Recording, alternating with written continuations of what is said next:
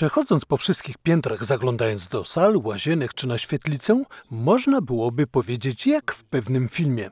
Marian tu jest jakby luksusowo. Jeżeli chodzi o warunki mieszkaniowe y, na Prusa i na Legionów, y, są bardzo y, do siebie przybliżone. Jeżeli chodzi o pokoje wychowanków, są identyczne praktycznie. Mogą się różnić korytarze. Wiadomo, wystrój jadalni jest inny, świetlicy jest inny, ale generalnie mają do dyspozycji w jednej i w drugiej placówce to samo. Młodzi ludzie korzystający z bursy poza kamerą mówili nam, że są zadowoleni z oferowanych warunków.